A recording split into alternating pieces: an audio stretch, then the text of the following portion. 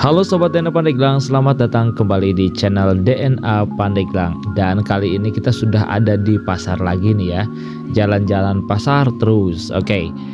Hampir seluruh kebutuhan sehari-hari kita didapatkan dari pasar. Pasar adalah pusat aktivitas ekonomi. Menurut Kamus Besar Bahasa Indonesia Pasar merupakan tempat bagi orang untuk bisa berjual beli menukar barang atau jasa dengan uang, serta menukar uang dengan barang dan jasa.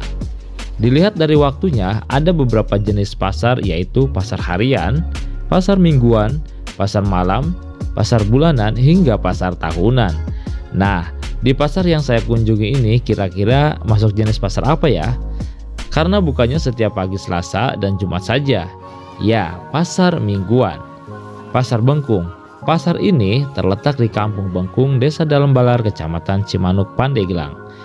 Barang yang dijual di sini didominasi bahan pangan seperti ikan, sayur, beras, dan juga buah.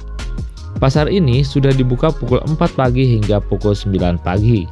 Pasar ini menjadi tempat belanja favorit para ibu rumah tangga di sekitar desa Dalam Balar, Kadu Madang, Kupahandap, dan Kadu Bumbang. Pasar ini diperkirakan sudah berdiri sekitar tahun 1960-an ya, dan dikenal dengan pasar Rambetuk. Loh, apa itu? Rambetuk adalah sebutan dari anak nyamuk yang kecil. Dan karena pada saat pagi, para pedagang sering diganggu gigitan nyamuk dan disebut dengan pasar rambetuk.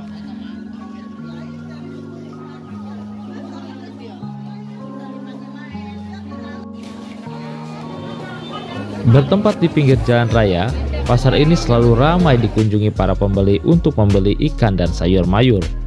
Pasar ini telah menjadi pusat ekonomi di desa Dalam Balar dan antusias masyarakat untuk berbelanja bahan pokok di pasar Bengkung ini sangat bagus. Ketika waktu subuh datang, para penjual dan pembeli sudah datang berjejal memenuhi sesi pasar. Kemudian, pasar akan sepi sendirinya saat pukul 8.30 pagi seiring dengan habisnya barang jualan para pedagang. Soal harga, belanja di pasar ini juga terbilang murah, sama dengan pasar-pasar lainnya, Bahkan beberapa pedagang sayur datang di waktu subuh untuk berbelanja dan kemudian akan dijajakan keliling atau disimpan di warung untuk dijual kembali.